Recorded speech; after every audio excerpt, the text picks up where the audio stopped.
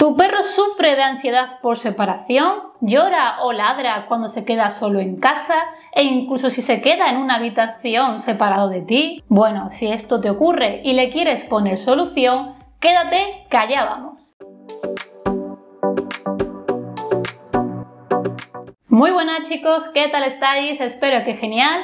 Muchas gracias por estar aquí un vídeo más junto a mí y si eres nuevo, bienvenido, este es tu canal donde vas a aprender sobre educación canina y mucho más. Hoy vamos a hablar sobre la ansiedad por separación, una problemática bastante común que provoca mucho malestar en el perro y no solo en el perro sino también la familia. Los síntomas más claros y comunes serían lloros o ladridos cuando el perro se queda solo en casa. Podemos estar hablando de minutos e incluso de horas. Y eso también puede ocurrir cuando incluso sigues en casa pero te has separado de él, lo has dejado en una habitación y ya no estás con él. Conductas destructivas, es decir, que el perro cuando se queda solo se pone a romper cosas como un loco o simplemente a rascar la puerta. Esto es más intenso normalmente cuando justo te has ido o cuando estás por llegar. Pipí o caca en lugares no deseados. El perro por esa ansiedad termina haciendo pipí caca donde normalmente no lo hace. Y oye, mucho cuidado.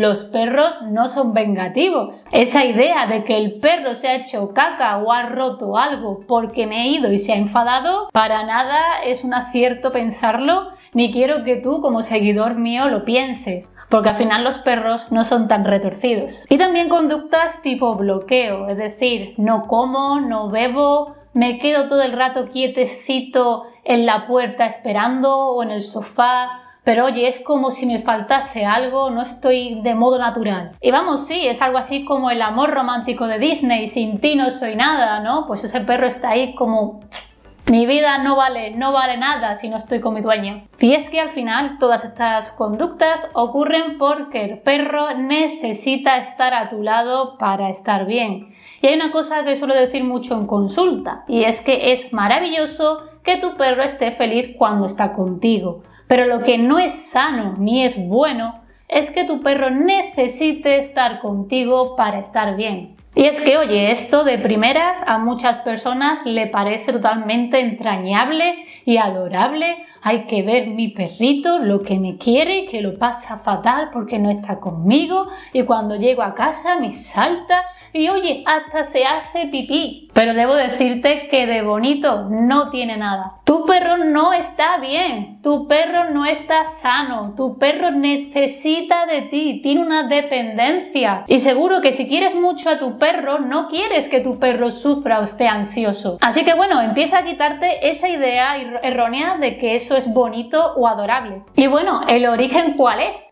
Normalmente el aprendizaje. Sin darte cuenta, tú, sí, sí, tú has ido fomentando esa dependencia en tu perro, con tus conductas diarias, estando muchísimo tiempo con tu perro, no queriendo salir a la calle porque hay que pena dejarle solo y al final resulta que has generado una dependencia y que nunca le has enseñado esa independencia tan necesaria y tan sana. Entonces, si ya has decidido ayudar a tu perro porque te has visto identificado o identificada con todo esto que estamos viendo, o incluso estás aquí porque quieres prevenir todo este gran problema, te voy a dar una serie de pautas. La primera, no pases muchas horas con tu perro. Ya sea de noche o de día, tu perro debe aprender a estar solo, a estar separado de ti y que no pasa nada. Porque a lo mejor eres una persona que teletrabaja y al final en tu día a día estás casi 24 horas con tu perro. Y es que tu perro no puede ser tu sombra, no puedes convertirlo en una sombra. Vas al baño, va el perro contigo, vas a la cocina, va el perro contigo, te levantas del sofá y él se levanta de su cama para seguirte y mira que estaba cómodo en su cama.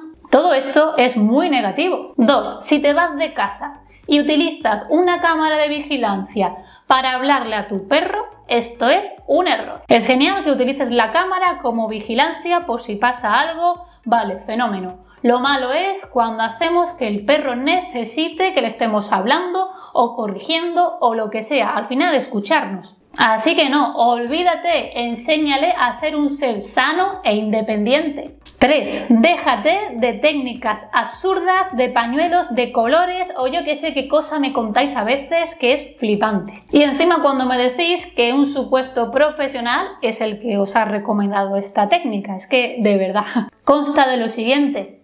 Ir poniendo pañuelitos de colores en la puerta según el tiempo que te vayas a ir.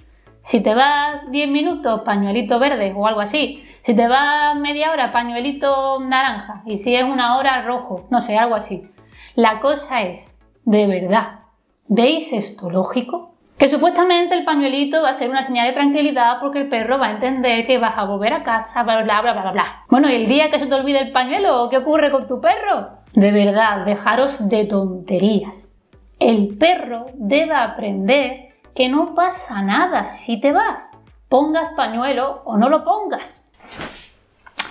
¿Qué se había quedado la cámara sin, espacio? La, tarjeta, cosas del directo.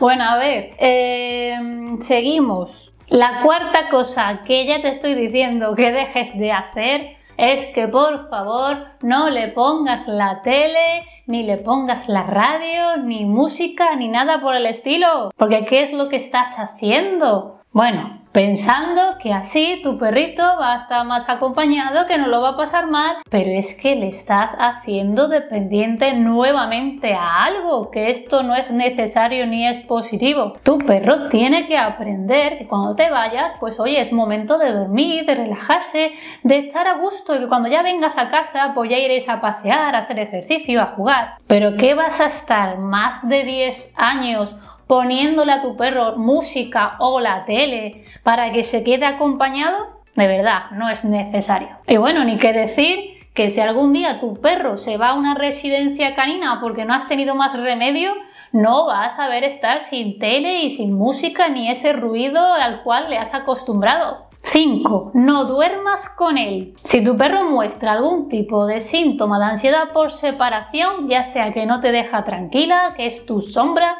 que lo separas de ti un poquito y ya está quejándose, llorando, ladrando, no duermas con él. Enséñale cuál es su sitio donde va a estar tranquilo, donde va a dormir de forma independiente y sana y así te vas a asegurar que tu perro va a aprender esa independencia deseada. Y oye, si intentas una noche a dejarlo fuera y ves que tu perro efectivamente se pone a llorar, se pone a rascar la puerta y no se queda tranquilo si no está pegado a ti, te está dejando muy muy claro que tu perro tiene dependencia. Y por último, una cosa que me pone de los nervios y que me veo a montones en consulta es que no mediques a tu perro. Mira, aunque un etólogo te lo haya dicho, así te lo digo, es un problema conductual, de educación, de hábito. Si solo te dedicas a medicarle, vas a tenerlo drogado y bueno, así por supuesto no va a mostrar ansiedad, claro que no, pero que vas a tener a tu perro drogado de por vida,